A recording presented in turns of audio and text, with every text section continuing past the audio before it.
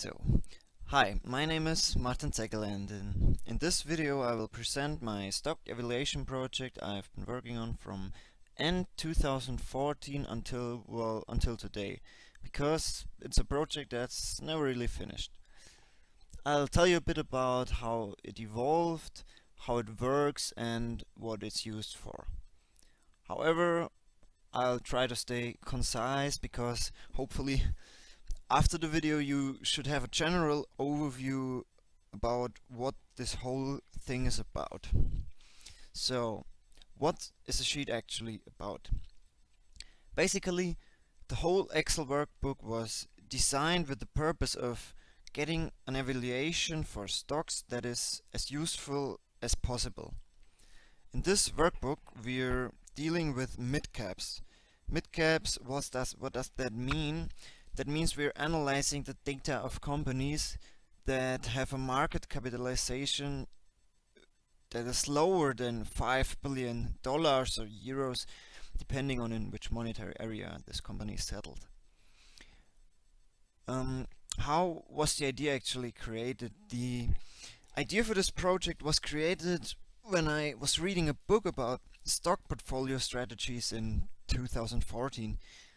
The book is called Der entspannte Weg zum Reichtum, what is German and means something like a relaxed way to wealth.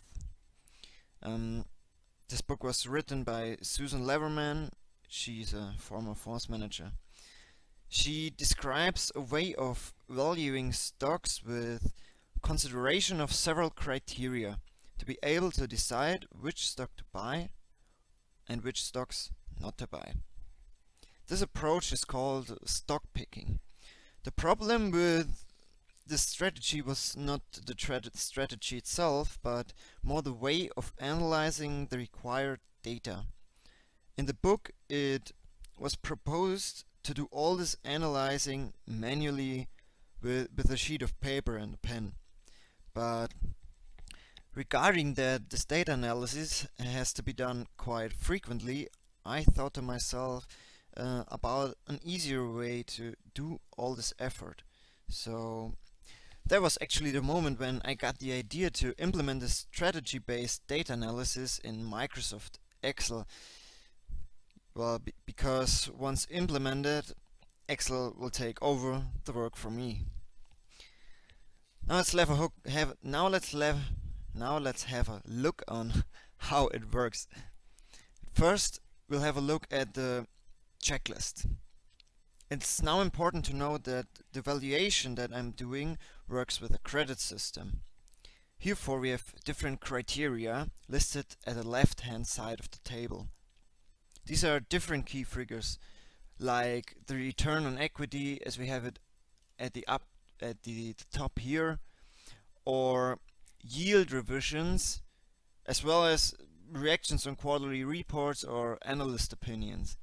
So, as we can see, the valuation considers economical as well as psychological aspects, because this was made to ensure a quite realistic and temporal appropriate valuation. Now, every stock gets valuated by these criteria. The results can be as following. If the stock performs well, we'll give one credit. If the stock performs badly, we will subtract the credit and if the stock performs averagely, we will give zero credits, what means we don't change the score. So here we can see the requirements that I've set for the different criteria. Let's just make a short example. We have a look at the return on equity from the last year. Um, let's assume the return of equity from a stock amounts to 30%. If we now take a look at our checklist, we see that we are even better than the required 20%. So in this case, we would give plus one credit for a concerning stock value. At the bottom of this table, we find another something very important. Here I'm defining how many credits a stock value has to have to be bought or at which point we have to sell it again. So at this side we can see the the so-called functional table. This table uh, contains the same values as the checklist but with a difference that's in a format Excel can work with. So later we will have to set references to these criteria and that's the reason I created the functional table. So let's now go to the stock valuation sheet. Actually it's a big table that contains data as well as the given credits. At the left hand side we can see uh, the different criteria from the checklist. At the top of the table we find the company names whose stocks we are evaluating. Um, basically here we'll find a mix of American and German midcaps companies because well that's due to my personal interests. Um, now the reach credits of every stock get aggregated and we can see the score at the bottom of the table. So every cell filled with green is now a clue on a potential candidate for our stock portfolio. But uh, more on that later. Let's now have a short look at the buttons. The buttons have different purposes, as you can see in their names. I would just have to I would just like to have a closer look at the button at the right, the add new stock button. Because implementing a new stock to get evaluated is not that simple in this workbook because the data sheet has to be generated, the references have all to be set and the list has to be extended. Doing this for every single stock this is this is quite much effort so that's why I created a macro implemented in a user form that takes over this work for me all I have to actually do is to provide the well to provide this user form with the required information so this is in detail the stock name the website we get our data from the ID every website uses, and the ISIN of the stock. The macro is doing the rest. So let's just do a short example to show how this user form works. Let's assume we want to, to add the stock for the Amazon.com Inc. So I just type in Amazon and tell the website, website we will take Börse.de, that's a German website we set the IDs and the ISIN, the ISIN is US 0231351067. So, well, Amazon is not actually not a mid-cap, but I'll just take this stock to show how the user form works. So I click off OK. We can see something is going on here.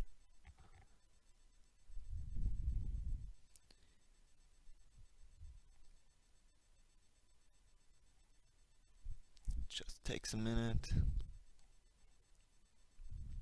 And zack, here is the Amazon stock freshly evaluated. It's also where I expected it in the first free cell in this column. There was this one. Everything alright. It got a score of minus one, so doesn't perform that well with our strategy. Mm, now we'll go on to the center part of the workbook. It's the portfolio simulation. Through the stock evaluation we've now the information that we need to buy or sell different stocks. This is what happens here. I'm literally simulating a custody account and how its values evolve. This was actually not part of the book, but I wanted to find a way to prove that the strategy we're working with is also generating benefits. So developing this portfolio simulation was crucial to me, in fact. At first let me talk about the different tables. most important is the current portfolio table.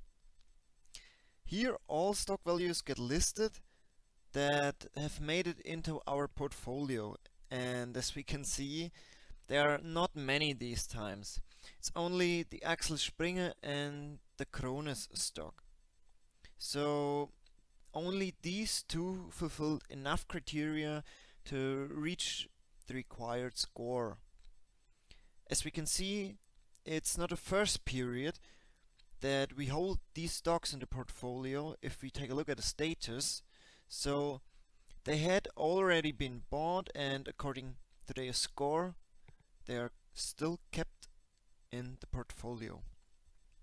The table left of our current portfolio lists all the stocks that have reached enough credits to be bought or at least to be held. So the linear technology, for example, has four credits. That's enough to be held if it would be in the portfolio, but it is two less to get into the portfolio. So let's just do a short test. Let's assume that linear technology stock had one credit more. So it would be 5 and we can see we would buy it. So another example if the Axel Springer if the Axel Springer stock had one credit less it wouldn't be listed at all so let's try this not listed and as we can see we would have to sell it for this price so these ones are just additional information. It's it's not essential for the workload we're doing, but it's some useful and interesting information about our portfolio and the current value develop current value development. So in contrary of this ones, these macro buttons are indeed essential. So again, these buttons take over a lot of work for us. Let's just go through them. The first one copies the stocks that were in the new stocks in period T table the last time we refreshed it. So more specifically, it freezes the stocks that reach the required score to get into the portfolio or to be held in it the last time we checked the stocks. So with the refresh button we do exactly what it sounds like. We refresh the stocks that fulfill the requirements. Now if you remember we changed something in our new stock table so after the macro ran through everything should look exactly as it did before. Let's just have a let's just have this as a test It needs some time to run through.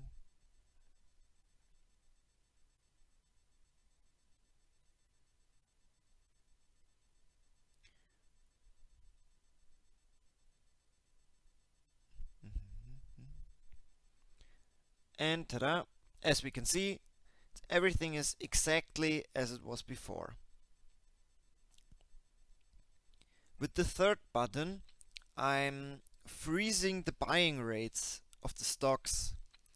So um, in this case now we would not buy any stocks. So to demonstrate how it works, we just make a little change again and say the linear technology stock reached 5 credits again. And we see we would have to buy it. Now let's just run through the macro.